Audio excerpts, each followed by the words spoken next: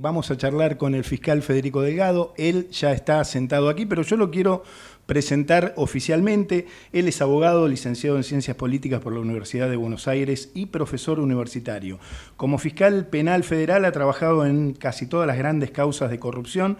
Te nombro algunas, para no abrumar, el pago de sobornos en el Senado, el megacanje de deuda externa, el accidente ferroviario de Once, los Panama Papers, Time Warp, entre otras cosas.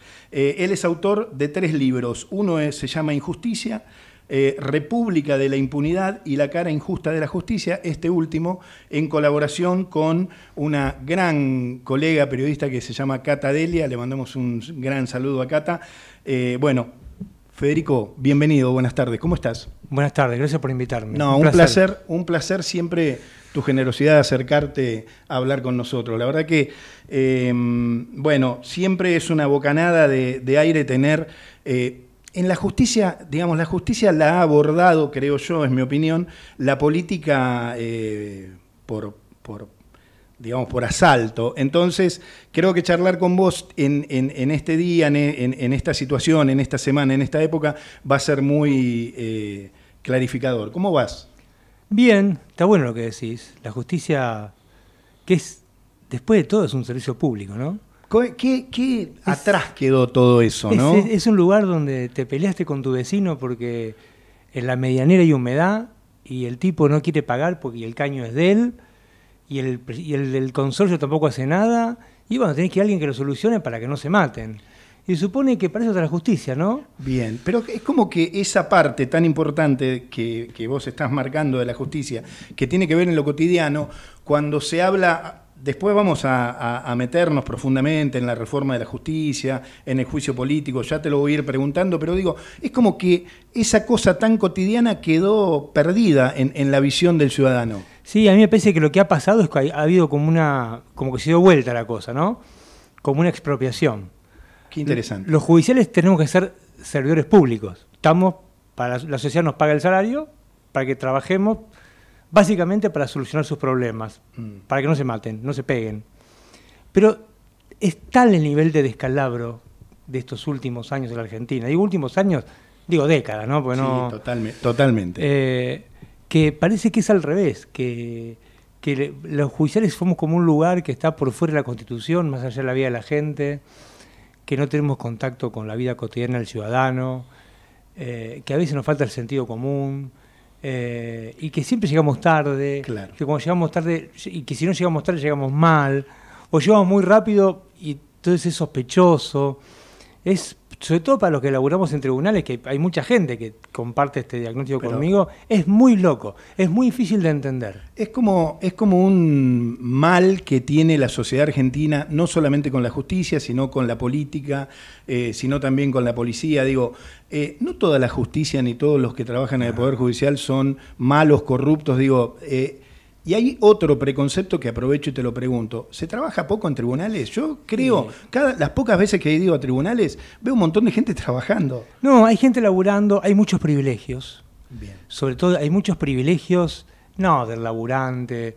Hay muchos privilegios. Primero, el régimen laboral, que se ha transformado en un privilegio, digamos. La sociedad se precariza cada vez más. Mm. Llegamos a un nivel de vida en que muchos chicos tienen dos trabajos y son pobres. Tremendo. Que es tremendo, porque tienen laburo, ¿eh? Sí, sí. No tienen domingo y son pobres. la función pública, en general, el empleo público conserva privilegios del siglo XX que ahora irritan. Y en algunos casos, bueno, de los magistrados, algunos tienen chofer, tienen custodio, tienen teléfono pago. Esos sí son privilegios. Eso irrita y eso aleja al, hombre de a pie de todo el dispositivo. Entonces es toda una gran ensalada de cosas que podríamos estar toda la noche, toda la tarde, toda la noche hablando y quizás llegaríamos a alguna conclusión. Con esas, con todas estas características que estás marcando, eh, ¿estás cómodo? ¿Trabajas cómodo en la justicia? No, uno no, yo trabajo cómodo en lo personal, pero no, no estoy para nada cómodo porque mm, lo que nosotros producimos es muy malo. Bien. Nosotros, mi, gente, eh, somos como, vos puedes hacer un programa de radio buenísimo, y los productores, están todos contentos, pero la gente no te escucha. Claro. Y si te escucha, te putea. Este, entonces, digo, para hacer un paralelismo, es más o menos lo mismo. Yo lo personal estoy contento, nosotros damos todo, nos tomamos las cosas en serio, pero eso sería una mirada muy egoísta. Si uno mira el dispositivo en su conjunto, es muy pobre, está enojado todo el mundo, y con razón está enojado todo el mundo. Eh, te, voy a hacer algunas preguntas que tienen que ver más con eh, lo que yo creo humildemente que le interesan a la gente. Por ejemplo, eh, el viernes, el, perdón, el jueves se van a conocer los fundamentos de eh, la condena de la vicepresidenta Cristina Fernández. El viernes está previsto que ella seguramente aparezca en un acto público, seguramente respondiendo en parte, esto lo digo yo, es una opinión absolutamente personal. Y después tenés la política, un sector de la política que te dice, no, la vicepresidenta está prescripta, esto es como Perón, eh, esto es una prescripción, una proscripción, perdón. Y hay otro sector que te dice, no desde la justicia, corriendo la política, técnicamente, ¿está proscripta? No, no. Técnicamente, si, esto fuese una facultad, Bien. y estamos con chicos que están pensando esto en la abogacía, sabemos que hay que decirle a la gente que uno pierde los derechos políticos, ser digamos, ser candidato es ejercer un derecho político, el derecho a ser elegido, uno pierde eso solamente cuando tiene una sentencia sin chance de apelación. Bien. Eso y acá hay un montón de instancias. Dos por lo menos. Bien. O sea que desde el punto de vista técnico no. Ah, después está todo, todo el uso político de los expedientes, que eso es inevitable. Sobre todo es inevitable, porque puedo hacerte una metáfora con el sí, fútbol. por supuesto. Cuando uno va a un partido de fútbol y pone un árbitro que es respetado, antes del partido, los dos equipos no dicen nada. Dicen, bueno, el árbitro es un árbitro... Mm, y para, muy bueno. para adentro pensás, pero la, gente no lo putea mucho. Dice, bueno, el tipo este sabemos cómo es, ya sabés cómo es, un ámbito duro, así, así, pero lo respetás. Lo que pasa es que la palabra del sistema judicial está sospechada. Al estar sospechada, todos estos tejes y manejes de la proscripción, del uso político del expediente, todas las miles las cosas que se tejen alrededor de eso, se alimentan básicamente porque hay una falta de credibilidad y de autoridad de la palabra del Estado a través de los jueces. Entonces, eso me parece a mí muy problemático y ojalá estos jueces, el día que den a conocer sus fundamentos, nos convenzan a todos no de la solución, sino que digna una sentencia que sea, yo diría, dos requisitos, que se comprenda Bien. y que sea corta. Bien, bien. Así la, así la respetamos, lo que les gusta y lo que no les gusta. Excelente. En el mismo sentido, te pregunto, el proceso de esa condena, digo, eh, las actuaciones de los fiscales, Luciani, por ejemplo, vos, de, acuerdo en el lado de la grieta que te pares, Luciano, Luciani es Dios o es el diablo. ¿Cómo, cómo veiste vos ese accionar y si crees que eh, la, sentencia que llegó está eh, probada, fundamentada, eh, si, tiene argumentos. Yo lo primero que veo es un proceso que se inició en el año 2008. Bien. Y en el 2022 tuvo la primera sentencia. Ya ahí hay un campo de problemas. Bien. No puede durar tanto tiempo. Después, las actuaciones personales fue muy criticado Luciani por el modo en que, en que ejerció, en que las formas que utilizó para acusar. Pero eso no tiene ningún tipo de peso en el expediente. Lo que importa es lo que él haya, es la capacidad que haya tenido él para convencer a los jueces. Un juicio es un, es un libro que lo leen los acusadores y los defensores. Los jueces no lo leen. Bien. Y tienen que, tienen que contar a los jueces qué leyeron y el que convence mejor gana. Eso es un juicio. Bien. Eh, y para hacer un, análisis sobre si la sentencia está bien hecha o mal hecha, eso hay que estar adentro. Yo no estuve adentro. Lo que sí me parece es que no puede durar, ni, ni, ni Sergio Rosso, ni Federico Delgado, ni Cristina Kirchner, ni Juan Pérez, tiene que estar sometido al proceso. Desde el 2008 para en el 2022 empezar a discutir si es culpable. Es demasiado. Es demasiado. Y a mí me parece que eso es someter a las personas a juicio, pero no enjuiciarlas. La Constitución no busca eso. No busca que te tengan 20 años colgando, colgado el pincel. Busca que en un tiempo razonable te digan culpable o inocente a la cárcel o a casa. ¿Y por qué, y por qué tardan tantos las ah, causas en líneas generales, ah, pero las de corrupción en particular? Bueno, claro. lo, primero que te digo es que hay un hábito que yo trabajo mucho en los libros, que es este, la justicia federal busca siempre la simpatía del gobierno de turno. Ah, simpatía, es tremendo pero lo que simpatía puede ser Puede ser un cargo, un ascenso, dinero, puede ser afinidad ideológica, puede ser cualquier cosa. Pero ¿qué quiere decir eso? ¿En qué se traduce? Que los funcionarios cuando están en el gobierno no tienen problemas y cuando dejan el gobierno se les viene la noche. Cristina Kirchner tuvo muchos años en el gobierno, cuando dejó el gobierno las causas se empezaron a activar. Le pasó a Menem, le pasó a Domingo Cavallo. Totalmente. Digamos, al, que nosotros querramos. Ese es el primer problema. Y después, bueno, hay un montón de cosas para trabajar adentro de los tribunales que tienen que ver con la forma en que se hacen los procesos, con la forma en que se construye el caso, en lo que, en, lo que se pierde tiempo, se, se, se, se cuelan intereses non santos, que no siempre tienen que ver con dinero a veces tienen que ver con otras cosas, tienen que ver con amiguismo, con afinidad ideológica, con, con, buscar un ascenso, con quedar bien con alguien. Yo cierro con esto, siempre cuento el cuento que un amigo mío lo citó en un libro de un juego federal que quería ser socio del Jockey Club. Y no le daban bola, no le daban el piné al tipo. Entonces, ¿qué hizo? Allanó el Jockey Club y secuestró los libros, todos los caballos este, que había. Hizo un, un descalabro tremendo. Terminó siendo socio. Claro, tremendo. Claro. Claro. Estamos hablando con el fiscal Federico Delgado aquí en Voto 2023 en Ecomedios. Ecomedio AM 1220. Eh, me diste pie para hacerte esta pregunta sobre, hablabas de, eh, amiguismos, eh, de querer de alguna manera eh, ser funcionales a, los gobiernos de turnos o a los anteriores. En ese, en ese sentido, eh, la vicepresidenta Cristina Kirchner intentó recusar a los jueces Jorge Gorini, Rodríguez Gómez Uriburus, a los fiscales Luciani y Mola por aquello que jugaban en el, en, el country del expresidente Mauricio Macri al fútbol, eh, que, bueno, en, los... En, el momento que se hacían las, las no me sale la palabra ahora, las las audiencias. Las audiencias, uno mostraba un, el, mate. el mate con el escudo del, del, club. Digo, ¿era necesaria, o sea, eh, ¿era necesaria esa recusación? ¿Cómo, ¿Cómo, lo ves técnicamente? Técnicamente, primero está mal. Primero está mal que los funcionarios hagan esas cosas. Está mal. Digamos, porque nosotros tenemos un. Hay un código de ética escrito y hay uno no escrito en tribunales, que te dice lo que no puedes hacer. Cuando yo tengo tribunales, el juez que teníamos, no, era otra época, por eso lo que voy a decir, sepan comprender, nos decía, no pueden ir a cabarets, no pueden estar borrachos cerca de tribunales de noche y no pueden hacer quilombo los fines de semana, porque yo los he hecho.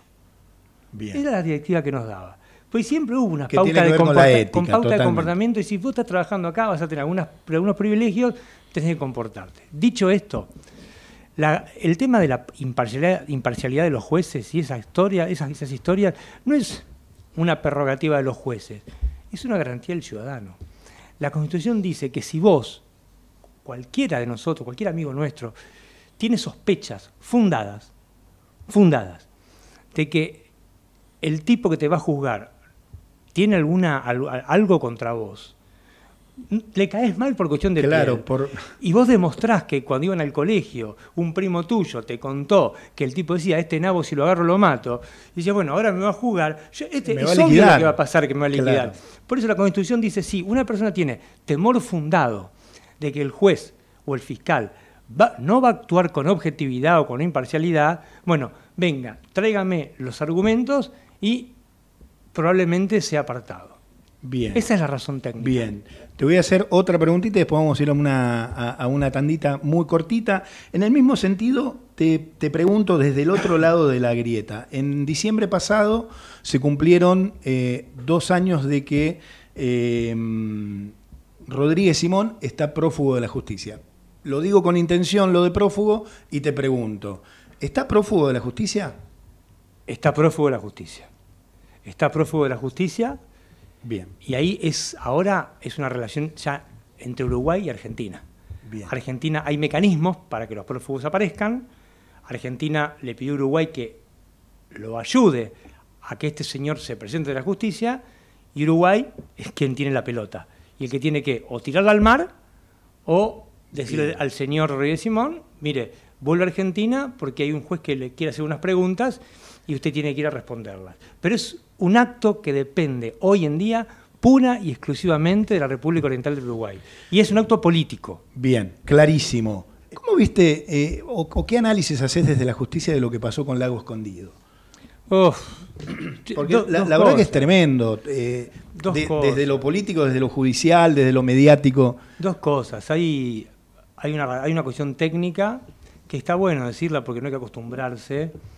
No hay que acostumbrarse a que los teléfonos, lo que esté en tu teléfono, lo que esté en mi teléfono, alguien lo pueda tomar y que eso se transforme clandestinamente en discusión pública. Es nuestra privacidad. Y, en algo natural, ¿no? que, es acostumbrarnos, ¿viste? Pero además de eso, acostumbrar, es vivir muy mal eso, es vivir en un sistema de botonería.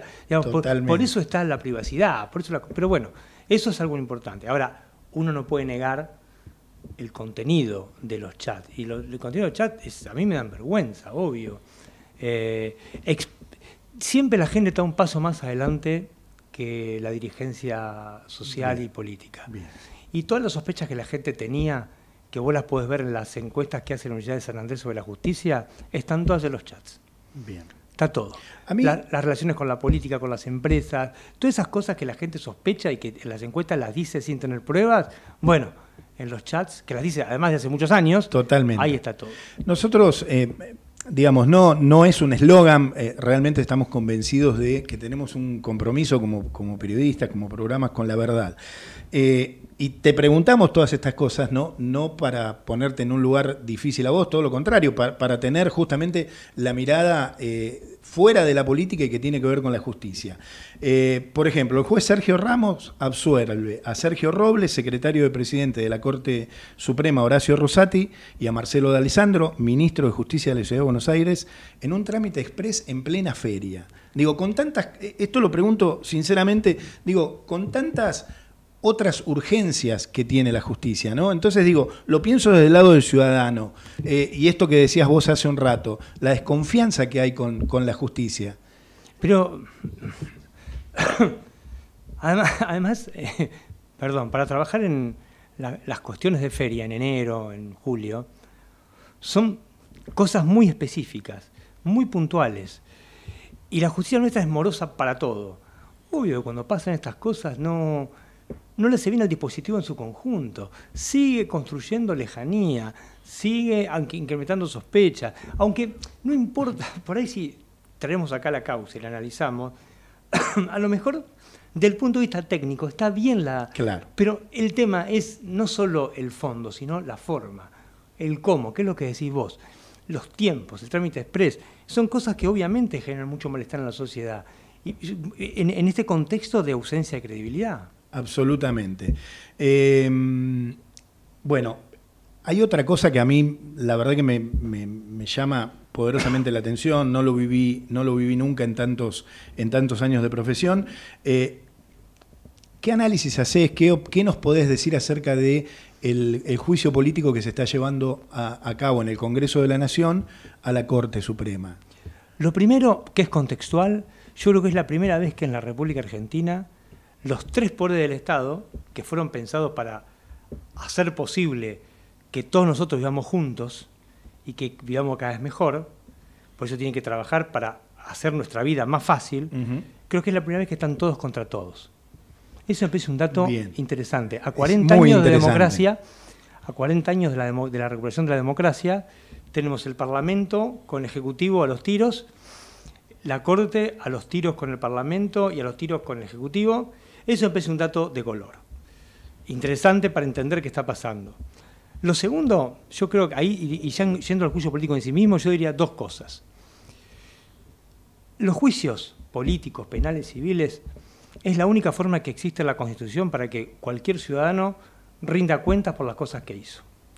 Si los diputados consideran que los jueces tienen que rendir cuentas por alguna cuestión en particular y deciden investigarlos, está en la Constitución. Eso no es no cumplirla, e, eso no es violar la Constitución, es mm. cumplirla, porque está ahí, está previsto.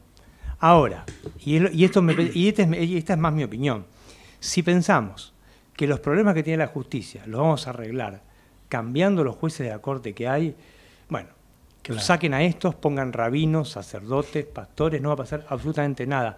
Porque yo creo que aunque, aunque haya hombres que no, no se hayan portado bien, y tengan que rendir cuentas por eso, no es solo un problema de hombres. Hay cosas por ahí menos visibles, pero más profundas que hacen que el dispositivo funcione mal.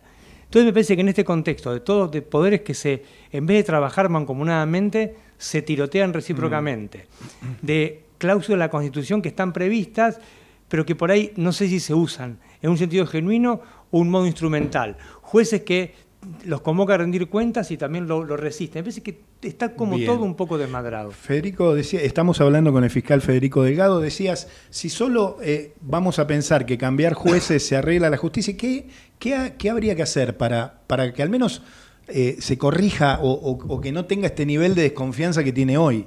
Lo primero, lo primero, lo primero para mí, que las designaciones sean un poco más claras. Bien. Hace dos años que el Congreso tiene la obligación de sancionar una ley que organice el sistema, que lo que llama Consejo de la Magistratura, sí. que es el motor del auto. Es la sala de máquinas del Poder Judicial. Total. Es diseñar la oficina que va a decir qué podemos hacer y qué no podemos hacer. Pero fundamentalmente tiene que decir quién va a entrar. Ahí hay una oportunidad inmensa para reducir al máximo, al máximo, al máximo el amiguismo, la afinidad ideológica, no, no empujar a los buenos este, y subir a los torcidos, un montón de patologías que vos conocés bien por tu trabajo. Totalmente.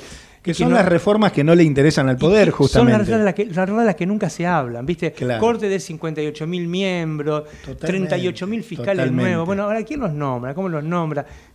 ¿Quién, mide su productividad? ¿Quién los controla? Me parece que hay que empezar por el principio. Viste que las casas primero hacen los cimientos, y después empiezan a levantar las paredes. Esto es igual. absolutamente. Sí, y, justamente todo ese tipo de reformas que darían eh, cierta luz, cierta eh, transparencia, bueno, desde el poder, eh, desde un lado o del otro, son justamente los que, los que no quieren hacer. Vos fijate que Kirchner y Vélez fracasaron para cambiar la justicia. Cristina Kirchner con 54% fracasó. Garabano y Macri fracasaron. Alberto Fernández fracasó. Fracasó quiero decir que lo que ellos querían hacer no pudieron hacerlo. Entonces me parece que, lo que habría que pensar es si cuando hablamos de reforma judicial no estamos discutiendo otra cosa. Estamos discutiendo cómo funciona el poder político en la Argentina. Entonces yo no sé si a las élites económicas y políticas de verdad, de verdad, tienen un interés genuino en cambiar cómo el formato del poder un poder que es verdad que es muy hostil para la mayoría de los argentinos, pero es muy remunerativo para pocos, para poca gente. Y esa poca gente es muy poderosa y yo no estoy seguro que la quiera cambiar. Clarísimo, clarísimo. Estamos charlando con el fiscal Federico Delgado. Bueno, tema Rosario que habíamos prometido, lo vamos a tocar. Eh, yo Federico, cuando no conozco, cuando, cuando no sé mucho de algo, trato de informarme, trato de leer. Y bueno, todos estos días estuve leyendo acerca de lo que, o intentar comprender lo que está pasando en Rosario, y encontré algunos datos que la verdad que me descolocaron y me asustan, eh, como por ejemplo, eh, el 80% de los ataques a tiros que suceden en Rosario se ordenan desde las cárceles. Eh, mira, yo estuve hace poquito en Rosario, tres ah, semanas. tres semanas fui a la Universidad Nacional de Rosario a dar una charla. Y hablábamos eso. Y es cierto, hay problemas, básicamente hay un problema en Rosario que tiene que ver con que hay lugares a los que la soberanía, el poder del Estado no llega. Si no llega el poder del Estado, hay otro poder.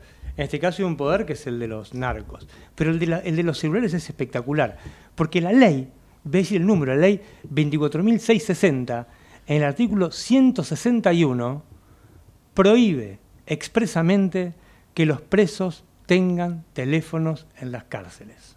Es tremendo lo que Pero me lo prohíbe, ¿entendés? Lo prohíbe, Sergio. Dice que si quieren hablar, teléfono público. ¿Qué pasó? ¿Tengo un minuto? Sí, por supuesto. Durante la pandemia, ¿te acordás que fue un caos? Algunas de esas normas se flexibilizaron, porque los tipos estaban presos y tenían que tener contacto con los familiares. Entonces, de alguna manera, eso se flexibilizó. Eso que se flexibilizó en el 2021 nunca más se endureció. Entonces ahora tenés una ley que dice, los detenidos no pueden tener celulares en las cárceles y sin embargo los tienen. Los tipos tienen teléfono y obviamente, pero no pasa solo en Rosario, eso pasa acá también. No, claro, absolutamente. manejando desde adentro. Ahora, disculpame mi, ingenuidad, ¿cómo llegan esos celulares ahí? ¿Viste el marginal? ¿Viste el eh, marginal? Bueno, yo creo que ahí está todo. Yo creo que ahí está todo. Bien. Y eso tiene, o sea, servicio penitenciario, el marginal, eh, directores de, cárceles. El, marginal es algo magnífico. Tiene la exageración de la televisión, pero la matriz es esa. Ok, ok. Em, bueno, tengo un montón de otras cosas. Eh, esta chiquita, no, te quiero abusar más de, tu tiempo. ¿Qué harías, ¿Qué harías o qué hay que hacer con la Oficina Anticorrupción? Que nunca funciona, esta es mi opinión, opinión de Sergio Rosso, no funcionó con el macrismo, no funcionó ahora, no funcionó durante el kirchnerismo. ¿Qué hay que hacer con la Oficina Anticorrupción? Hay que hacer lo que dice la ley. Hay una ley mucho más vieja que establece que hay, hay dos oficinas que hacen lo mismo. En el Ministerio Público Fiscal hay una oficina que tiene las mismas facultades que la Oficina Anticorrupción. hay, que, hay que juntarlas. Hay que juntarlas y tiene que pasar a la órbita del Ministerio Público, que es un órgano de extrapoder, porque no puede ser que el Poder Ejecutivo se investigue a sí mismo, es contraintuitivo. Es, claro. Es contraintuitivo. Hay que hacer lo que hay que sentido común. Hay dos oficinas iguales. En, un momento, no importa por qué, se duplicó la estructura y se creó la oficina de corrupción. Bueno, en eso fue una cosa, fue una movida que no salió bien, hay que volver al principio y hay que, toda esa gente hay que hacerla que trabaje mancomunadamente con la oficina original, que vos, los que somos más grandes, nos vamos a acordar, había un tal Ricardo Molinas, es esa gente que tanto controló el poder.